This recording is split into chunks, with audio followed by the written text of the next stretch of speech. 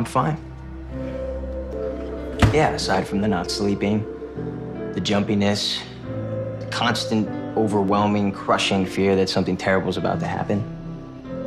Do you have PTSD?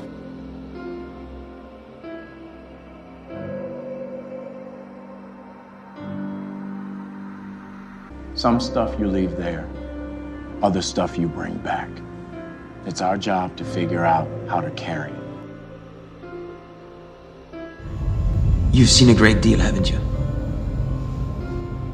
I don't want to talk about it. That's manipulative. I don't want to talk about it. We all got the same problems guilt, regret. You lose someone? He was going to rape me. I said no to what he wanted, and he was going to force me to do it anyway. I was scared. My whole life was being scared, being hurt.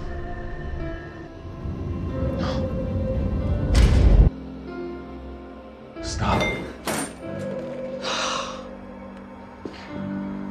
being angry.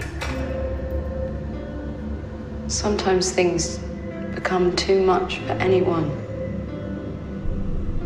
Don't they?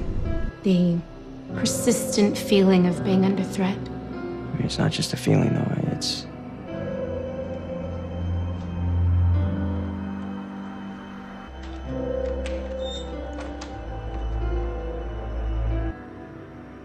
It's like it's a panic attack.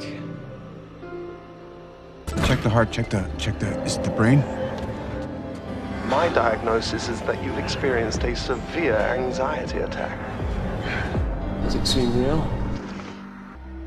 It is real. It's a dream, Oswin. You dreamed it for yourself because the truth was too terrible. It's a dream. It's a dream. This is just a dream. No, it's not. This is real. You're here. You're here with me.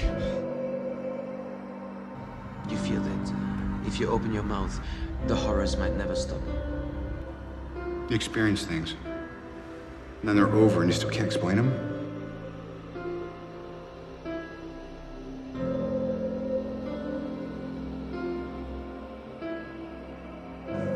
The world has changed. And none of us can go back. All we can do is our best.